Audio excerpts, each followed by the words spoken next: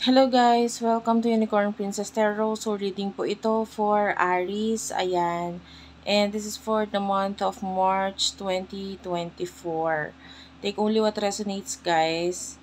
Hindi to magre-resonate sa lahat. So, kunin mo lang yung mga magre-resonate para sa'yo. Bago ko nga pala simulan, pagpasensya mo yung aking kamay, medyo madumi.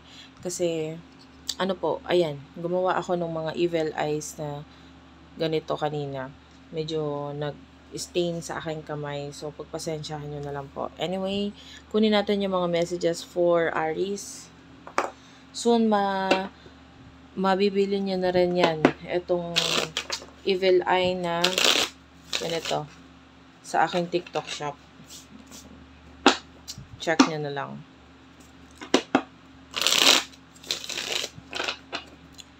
So, this is for the sign of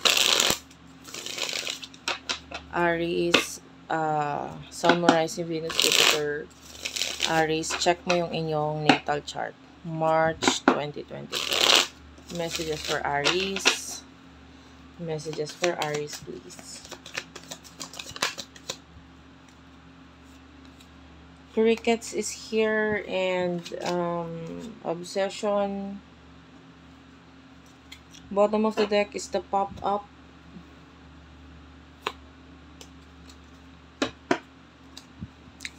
Um, I'm feeling like for some of you Aries, merong mga taong bigla na lang dadating or bigla na lang susulpot sa buhay mo. Maybe they are uh, childhood friends, ganun yung nakikita natin. Um, this person, either childhood friends or ano eh, pwedeng may love related or nagka-emotions or nagka-feeling itong person na ito sa'yo. So, nakakita tayo ng ganun. And bigla na lang siyang paparamdam, bigla na lang siyang mag-chat, bigla na lang siya tatawag, parang ganun. And tell me about this.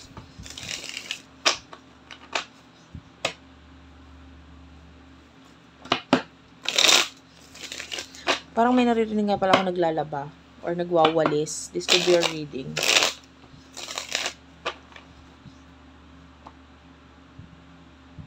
So, parang ano, yeah. Anyway, for Aries, the High Priestess is here, the Star. This could also be a pers person na medyo malakas ang kanyang intuition, malakas ang kanyang pakiramdam. And then this person really do likes you a lot. Gustong gusto kanya. And pwede magparamdam tong taong to yan. May reconciliation eh.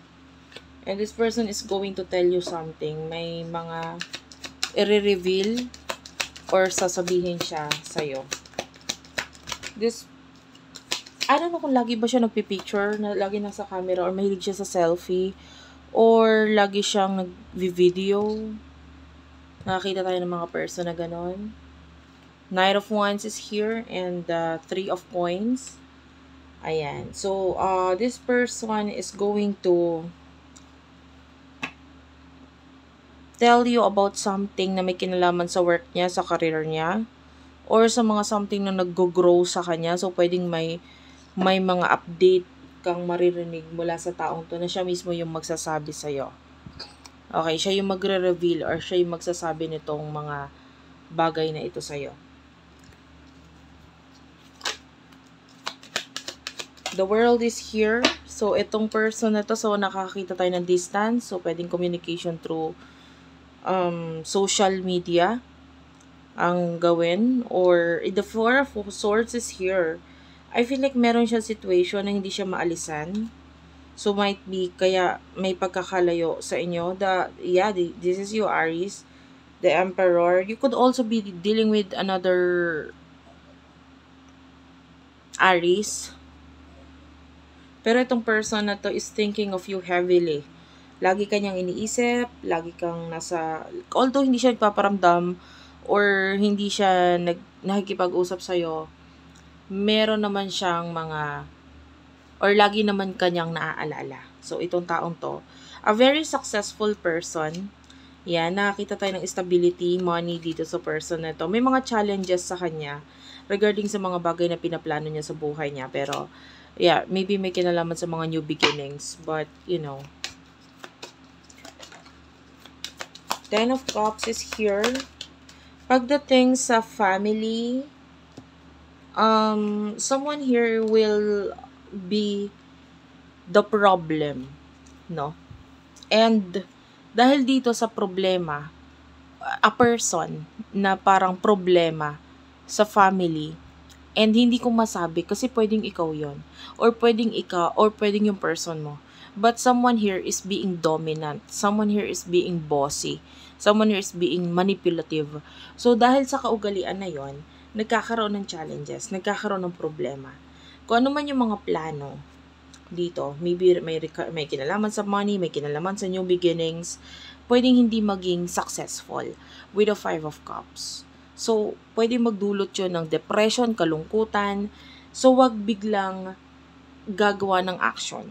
Maybe kailangan mo pa rin ng opinion ng iba. Kailangan mo pa rin ng opinion ng person mo kasi maaaring pagsisihan or magkaroon ng problema na hindi napag-usapan or hindi na plano ng maaga. Okay?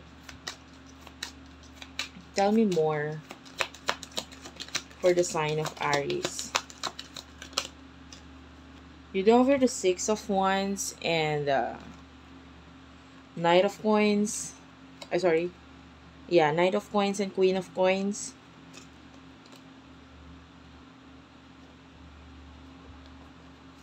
Um, kung magta-travel ka ngayon, nakikita natin na yung travel mo na yun is magbe-benefit para sa'yo. I can see na pwedeng pag nag-travel ka, may mga makikita ka or ideas ka na matututunan na magiging beneficial or mag-benefit ka dito sa mga bagay na matututunan mo pag ikaw ay nag-travel. The Six of Wands is here, so yeah, I can see uh, balance, energy pagdating dito The Seven of Cups is here. Yan.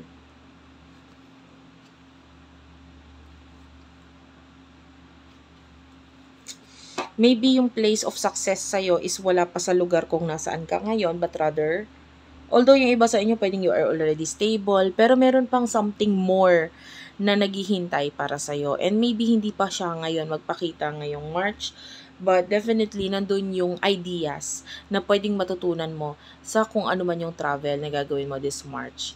No? And, last uh, messages for Aries, please tell me. Three of Cups is here. The Nine of, uh, sorry, this is the Page of Cups. And the uh, Temperance yan, meron kang bagay dito na matagal nang hinihintay or tao na matagal nang hinihintay na nakikita natin na pwedeng magbigay ng offer or makapigay ng opinion, makatulong sa'yo. Like, pwedeng yung opinion niya or kung ano yung sasabihin niya, pwedeng ito yung mga, ano, makatulong sa'yo. Like, this could be your angel guides. This could, not angel guides, but I mean, your physical guide dito. Kasi when the death card is here, yeah, maybe pwedeng, um, a news or a message regarding na kailangan mong i-end yung isang bagay, kailangan mo i-end ito, kailangan mong gawin to, ganyan. And this is like an advice coming from a person na pwedeng i-guide ka niya sa something na oo, may mga bagay ka na kailangan i-end. Maybe with the Justice card, is something to do with your career. Or the Queen of Swords, pwede may kinalaman talaga yan sa mga bagay or tao na kailangan mong i-cut off.